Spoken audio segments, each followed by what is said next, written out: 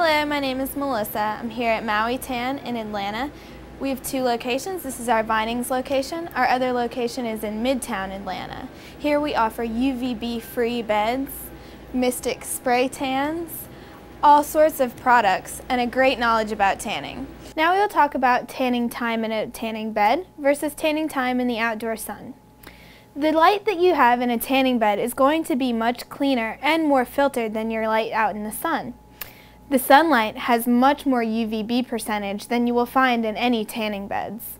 So therefore, tanning in a tanning bed is more of a controlled atmosphere. Again, the Indoor Tanning Society wants to stress moderation in tanning. It can be done safer in the beds almost than it can out in the sun. About every five minutes in a bed is equivalent to about an hour out in the regular sun. So you can see, you can judge that about how long you should stay in the bed. Every salon has different levels of beds. Here at our salon, we have levels 1, 2, and 3.